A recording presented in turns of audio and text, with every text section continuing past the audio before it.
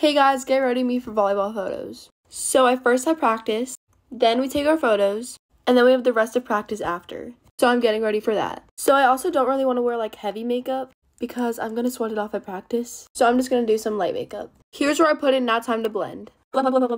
Now time for concealer. Recently I had high school orientation, which I don't know if I told you guys about that, but I was really nervous and I'm so scared for next year. Anyways, now I'm to curl my lashes. First, gonna use some of my telescopic carbon black. Now I'm just gonna use my Benefit They're Real mascara. Done with this side, now I'm gonna do the same thing on this side. Now my makeup is done, I'm just gonna curl my hair, but I'll be back when this is done. Okay, I just finished curling my hair and I'm all done getting ready. So I hope you guys enjoy. Bye!